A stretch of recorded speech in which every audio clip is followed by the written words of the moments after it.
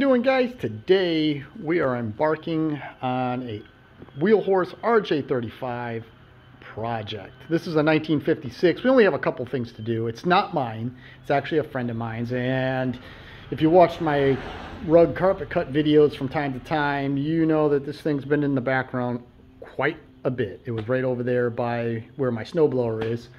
So I, I, this thing's been on the back burner way too long and I need to get this thing going.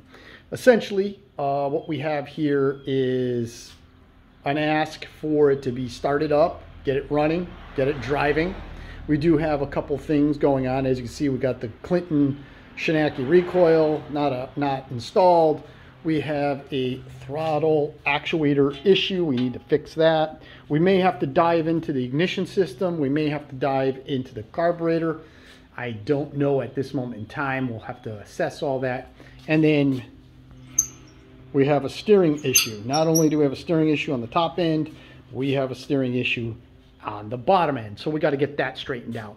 I think the first thing I want to do is just kind of go over why this one is a 1956 versus a 55 or a 57.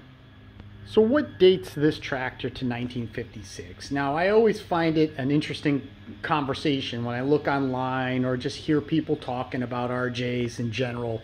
You know, it's absolutely this or it's absolutely that. There's nothing absolute about an RJ, an RJ 35, a 58, or even a 59. They were all built in a garage, literally.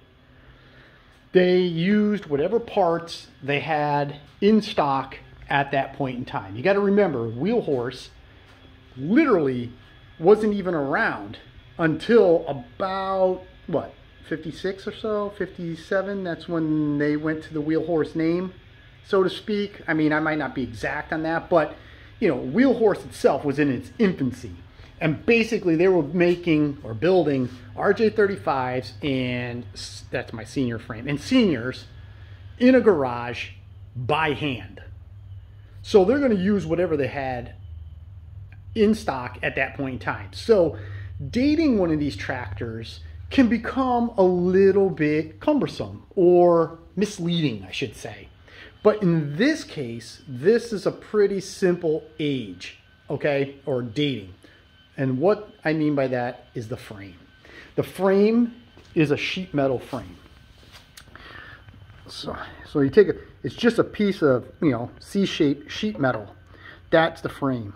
And then this is an indicator of 1956 because they only used this for a short period of time because they were having some cracking problems as far as I was told. I don't know if that's 100% true, but in 1956 it was a piece of uh, C-channel frame and in 1957 they went back to the C-channel frame.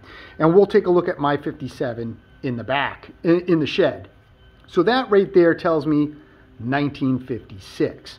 Okay, next thing.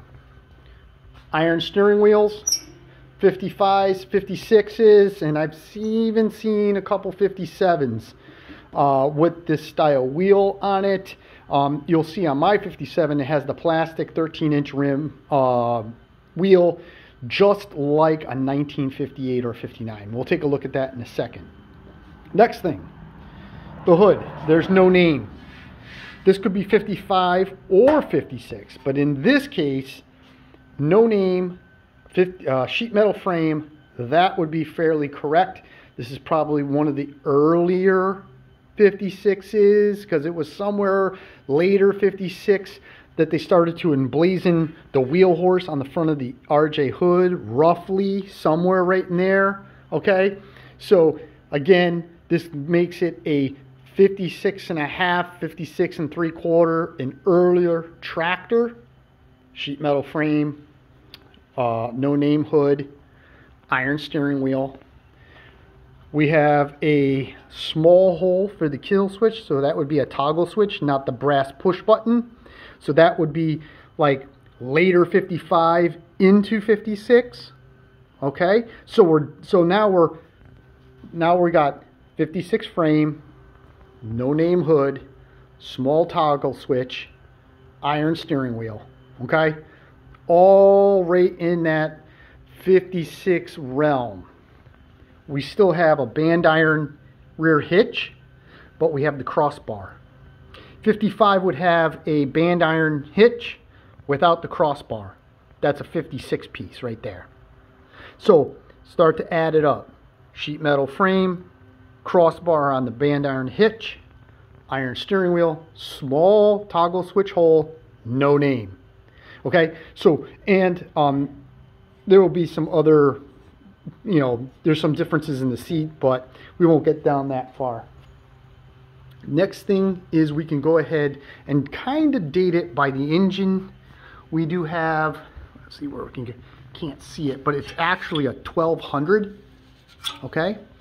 1200 would be one of the earlier style uh, Clinton motors because we have 1200, there's an A1200, then there's the B1290, okay?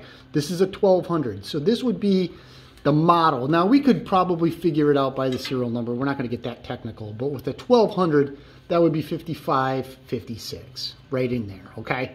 And then the A's would come out, and then the B1290s would be later 57 and then 58, 59. So the motor tag lends us to that 56 time period, okay? So when we look at the whole tractor overall, okay, it lends itself to be a 1956. Let's go out to the shed and take a look at my 57 real quick for comparisons. For quick comparison, we'll go ahead and we'll just take a real quick dive on my 57. Now, don't mind the, the rims and tires. Well, the rims are original, uh, but the tires aren't, so don't look at those. 1957 starts with the embossed hoods of Wheel Horse. I do have one original 57 decal. The other one's been replaced, but not that that's a telltale sign that it's absolutely a 57, but it's a very good sign. We have the 13 inch plastic rim steering wheel. That's an indicator of a 57. We also have the fully enclosed belt guard. That's a 57 only uh, item. So that is another good indicator that this is a 57. We also have, let me just come around the back side here, see if I can do this smoothly. Um, we do have a sheet metal style rear hitch. That would be, from what I've been seeing, it's from, it's like 56, 57-ish, somewhere right in there. But sheet metal uh, style rear hitch. And then, as you can see, we have the C-channel style frame, not a sheet metal frame. So when you add this, oh, and the other thing too, which is interesting, these pulleys, these rear pulleys that start that are on the jack shaft, they're a little bit smaller on 57. So it actually started in 56, but an indicator of a 57 also. So let me just let me just quickly walk back out without tripping and falling with all this garbage that I have in my shed. And we can just kind of take a quick overview look from it. So that's how I date unbelievable. And that's how I date RJs. You got to take the whole picture in. Now, now this engine, now this tractor doesn't have the original engine, so we can't use that. But in general, you have to take a look at the entire tractor, add up all the pieces, and then decide, or to your best abilities, figure out what year it possibly is. So as you can see, there are definitely differences between the years in these tractors it's not 100% gospel that I just provided you. What I basically have just showing you is very high level the differences between the tractors. So right now what I'm going to do is I'm going to go ahead and get the hood out of the way, get the steering wheel off, and we're going to start taking a look at the motor. We might as well try to get this thing started first before we fix the steering. Okay, change of plans. I was trying to get to the motor, right? Trying to figure I start the motor up first, get things going. But if you see here, the uh, steering shaft has a scoliosis. So I guess the first thing I'm going to do is fix the steering. I just uh, texted the owner of the tractor and said, hey, look, man, your, uh, your steering shaft is bent and I'm not going to try to straighten this out. We have to make a new one and put a new steering shaft in it. I'm waiting for him to say yes or no. Um, but in general, that's the only way to fix this. So I'm going to go ahead and tear apart the steering here and I guess we'll just work on the steering first. So to get the uh, steering shaft out, which is going to be the first thing, I took the cotter pin and the big three quarter inch nut that holds the front axle piece out of the way, or just took it off. The next thing I did, if you will take a look here, let's get underneath and figure out what we got going on, right? There is a snap ring that goes right here. I took the snap ring off so I can get this uh, center link out of the way. And the reason why I need to get the center link out of the way is you probably can't see it. We'll see it a little earlier. Well, maybe I can get it in there. Let's see. There's a roll pin. Yes, there's a roll pin right there. That's what holds this steering block to the steering shaft. So I want to get this whole front assembly out of the way. So I'm just going to take my hammer. I took the snap ring off, like I said.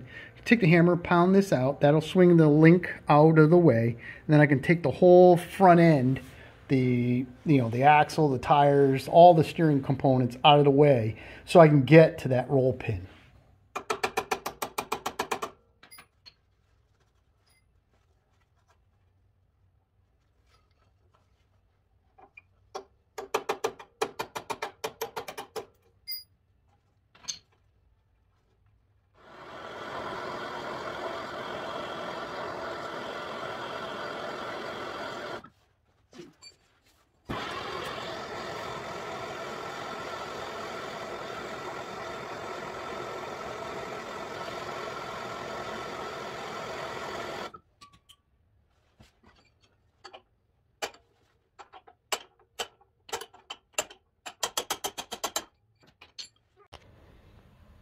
So as you can see, this steering shaft is bent pretty good. So let's just go ahead and roll it on the floor and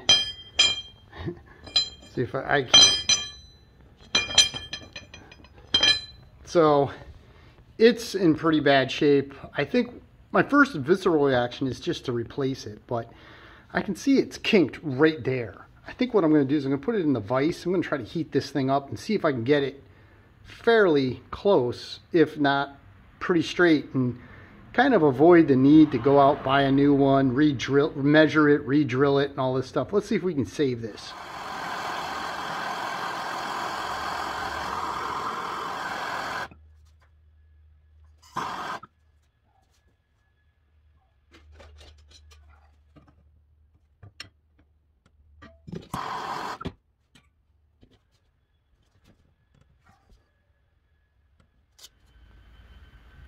So with some gentle persuasion with the torch and then a little bit more aggressive persuasion with my railroad tie and my hammer, I think I got it acceptable.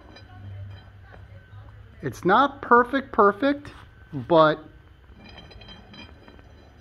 I mean,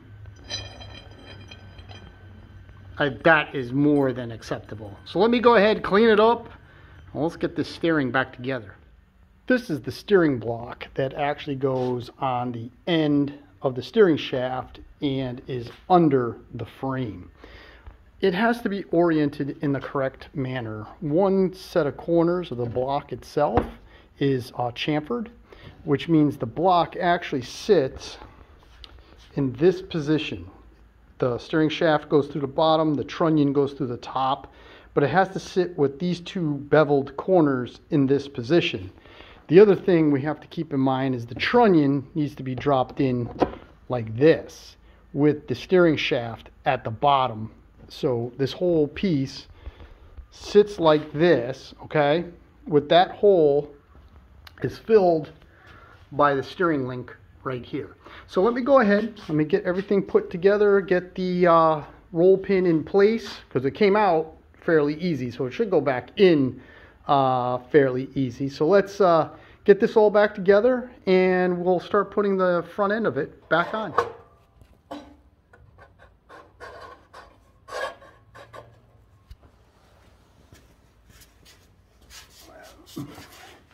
So this is a little bit of an awkward spot to work in, um, but we just kind of get the steering shaft in place. We got to get the block in place. Um, we do have to get it up.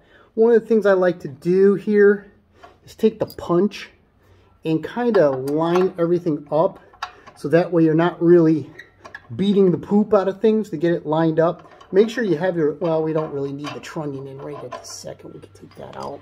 But in general, make sure that this is all kind of lined up. And then we're going to just gently and hopefully tap this into place.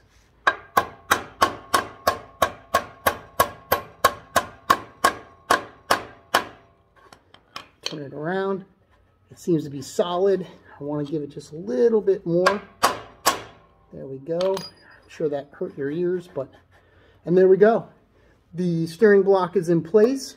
We can take the trunnion, drop the trunnion in, and now this is ready to accept the front end. Steering system is all back together. Uh, everything is real nice. It lines up real nice. There's no slop in the steering at all. So it's going to steer real nice and solid once I put the steering wheel on. I'm not going to do that until after I get the engine up and running. Um, I've got the snap ring on the, on the on the steering link. That's in place. The cotter pins are in place. The shaft collar here on the steering shaft is back in place. One thing to keep in mind with that, when you before you tighten that down, move your steering shaft up or forward as high as it can go so the steering block is up against the frame and then put your steering collar or the shaft collar in place. That way your steering shaft doesn't go up and down because it's being held in place by the steering block and the shaft collar itself. I lubricated everything. When I got the tractor, the steering link wasn't there. It was missing a trunnion, so the steering was basically uh, you know, non-functional. We got all that fixed. Um, everything, all the pivot points are greased and lubricated. And if I take this, uh, you know, punch and it works real nice. And if I go like this, there's basically no slop in the steering. So this is going to steer real nice and solid. All right, guys, not what I was planning on working on um, on this tractor. I was thinking about doing the motor first, but that bent steering shaft, uh, it just it was just calling out to me. And uh, just so you can see, it isn't pretty. I mean, you saw how bad that was bent. That thing is about as straight as it's ever going to get. And we got to save the original steering shaft with all its natural patina to match the tractor. So I think that is a big score. All right, thank you very much for watching. I very much appreciate all your viewership as always. It is humbling how many people watch my videos as well as give, give me such nice comments. Uh, over the last couple weeks or last two weekends, I haven't uploaded a video. The reason for that is uh, I was helping my buddy move his parents out of his out of their house, and I pulled a muscle in my back. Right now, my back is burning pretty good, so I am done for today. But anyways, my lost is your gain. Thank you very much for watching. Please like, share, and subscribe. And if you could, if you do so choose to subscribe, and I really appreciate that, please click the little bell so that way you know my videos or when my next video is uploaded. I usually do it on Friday nights at 8 o'clock. I've been pretty consistent like that for years, but because of uh, minor injury. Um, I haven't I, I haven't done it the last couple Fridays. So I decided to do it today because I was feeling a little bit better. All right, thank you guys. Next up, we're going to tackle that that Clinton motor. We're going to get it running. Uh, so if you're interested in seeing that, please come on back. Thank you very much. Like, share, subscribe, and as always, until we do the next project, you have a great day.